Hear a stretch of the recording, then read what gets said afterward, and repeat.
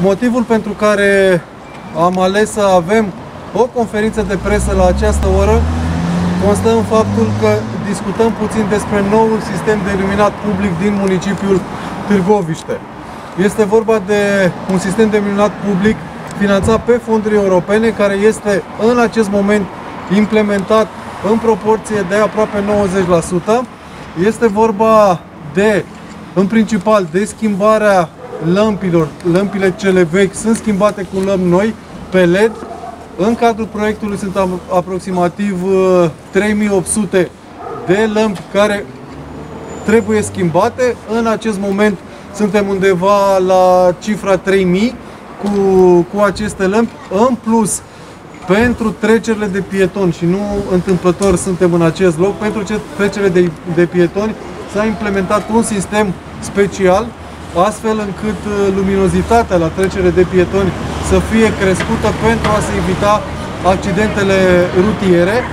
De menționat faptul că în momentul în care va fi finalizat întregul sistem de iluminat public, la fiecare trecere de pietoni va fi iluminat pe senzor. Asta înseamnă că în momentul în care pietonul se apropie de trecerea de pietoni, intensitatea luminii crește. De asemenea, va fi și un sistem de gestiune a întregului iluminat public în momentul în care uh, străzile nu sunt circulate, intensitatea luminii urmând a scădea, pentru că unul din obiectivele principale urmărite în cadrul acestei investiții vizează și scăderea consumului de energie electrică cu aproximativ 45-50%, lucru care se poate, uh, poate fi foarte util, mai ales din perspectiva creșterii galopante a prețului la utilități, deși la energia electrică. Cu privire la iluminatul public din municipiul Târgoviște, vreau să precizez faptul că nu ne oprim aici.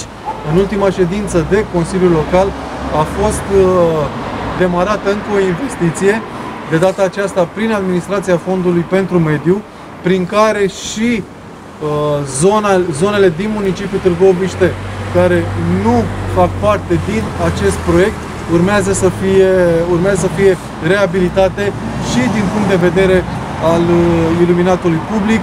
Să sperăm că și acest proiect va fi implementat uh, cât mai curând. Uh, este vorba pe cel de-al doilea proiect în principal de parcări, dar și de iluminat pe bază de senzori pe proiectele anterioare care au vizat PID-urile și care nu au beneficiat pe zona de iluminat public de o asemenea, de o asemenea facilitate.